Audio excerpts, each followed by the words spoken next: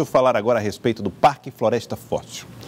Com mais de 270 milhões de anos, passará por uma intervenção através de uma estrutura de valorização do ponto histórico e turístico. O projeto contempla a construção de museus, apoio aos turistas e outras novidades. Quer saber quando é que vai ficar pronto?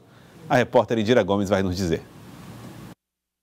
Os troncos têm 270 milhões de anos.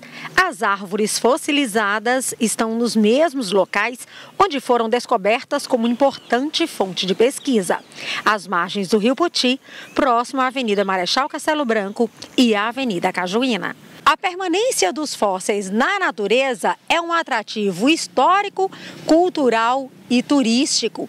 E depois da criação do Parque Floresta Fóssil, uma nova medida vai valorizar esse espaço como centro de visitação, que deve ser totalmente reformulado e reinaugurado no primeiro semestre do ano que vem.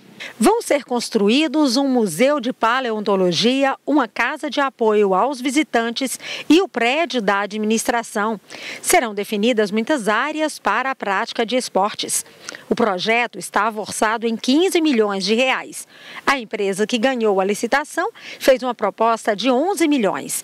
Agora é só cumprir as formalidades para a emissão da ordem de serviço, o que deve ser feito ainda no mês de maio. A área da, da, do Parque Floresta Fóssil negócio, é, ela, ela faz tanto a região norte, ali da Marechal Castelo Branco, quanto aquela parte leste da Raul Lopes. Tá? Então, é, é uma obra que tem um prazo de execução, inclusive, de aproximadamente 12 meses, ou seja, a, a, a gente contratando, emitindo ordem de serviço ainda agora em maio, a gente provavelmente, é, a ideia é que tenhamos uma, uma obra concluída até maio do próximo ano área é tombada como patrimônio brasileiro pela capacidade de revelar mudanças na paisagem e no clima ao longo dos séculos. Há registros também da presença de índios na região. E podem ser realizadas escavações para estudos arqueológicos. O IFAM vai acompanhar a execução do projeto. O IFAM ele participa né, como fiscal dessa dessa implantação, da execução desse museu na Floresta Fóssil.